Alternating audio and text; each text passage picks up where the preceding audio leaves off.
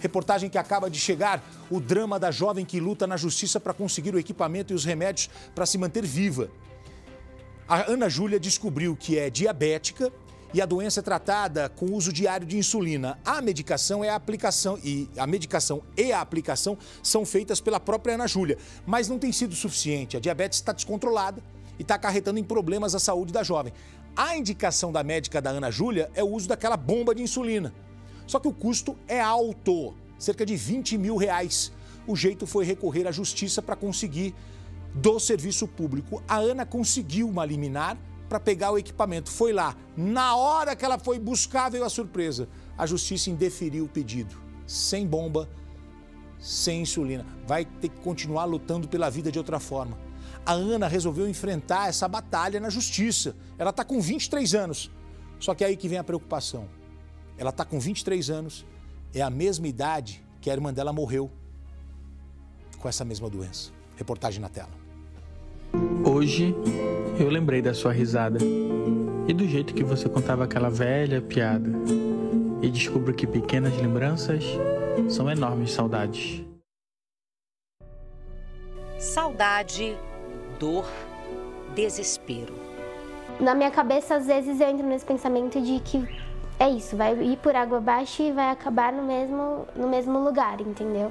Ana Cristina tinha apenas 23 anos quando morreu em julho do ano passado, por complicações do diabetes tipo 1, a mesma doença da irmã caçula, Ana Júlia, que hoje também tem 23 anos e que luta por um direito básico: saúde. Eu não posso desistir de mim mesma.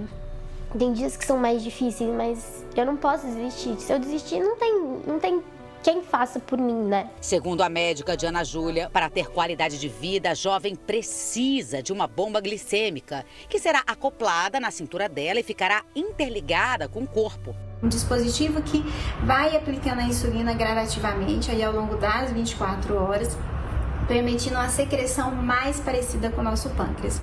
O problema é que a liminar que havia sido concedida para que o SUS fornecesse o aparelho de alto custo foi barrada por uma juíza, que julgou improcedente o pedido.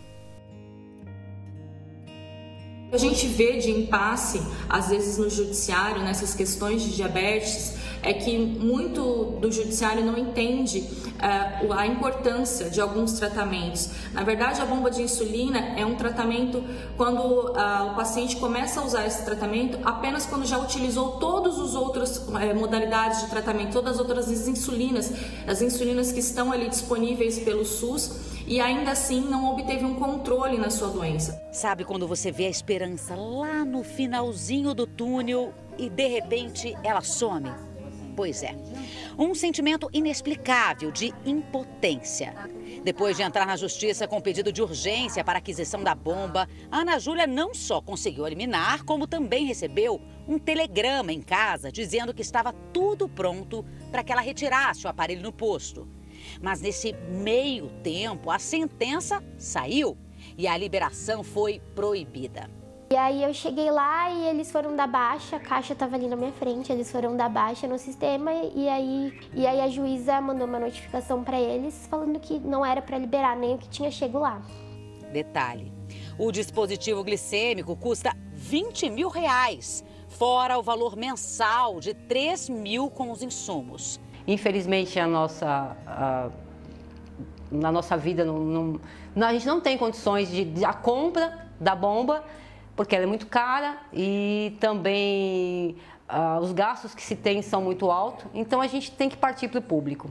O que piora a situação é que o organismo já não responde mais à insulina.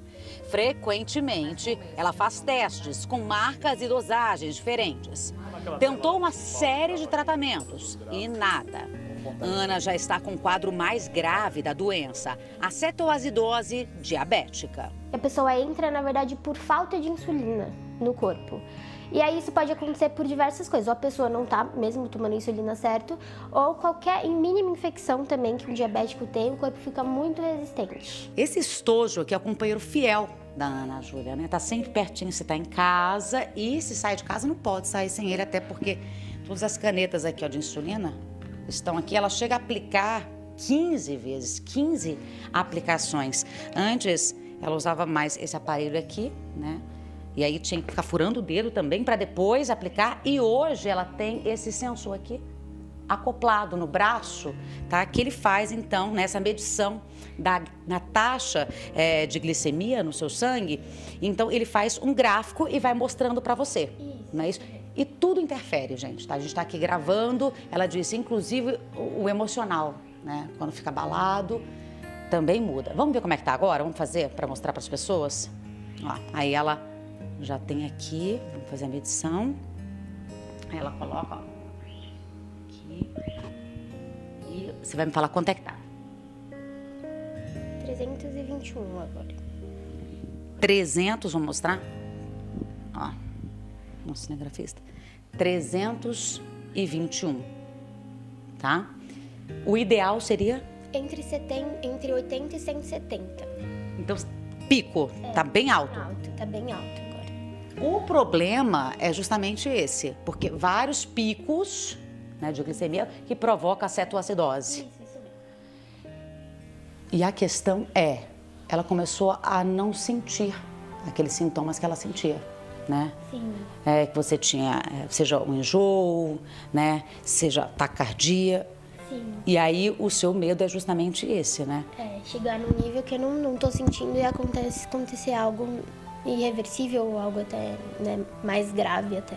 Como aconteceu na semana passada, que aliás as marcas estão aqui no corpo, olha só aqui, aqui também, porque ela foi para o hospital, ficou internada durante uma semana, justamente por esse quadro de cetoacidose. Ana é estudante. A mãe trabalha como motorista e sustenta toda a família, inclusive Bernardo, de 5 anos, o neto que ficou sem a mãe.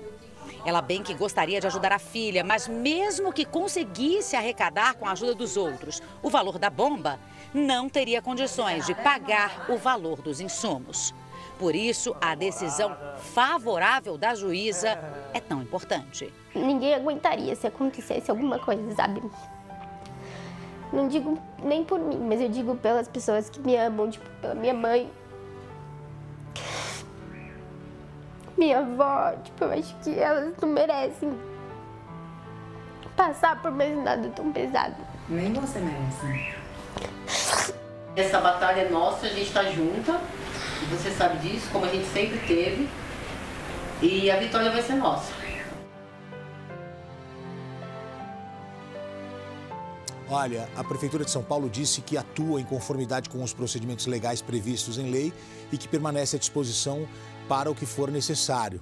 Tem que acatar a decisão ali da Justiça. Já o Tribunal de Justiça disse que a decisão de cada magistrado é independente e feita com base nos documentos apresentados. Que drama dessa moça.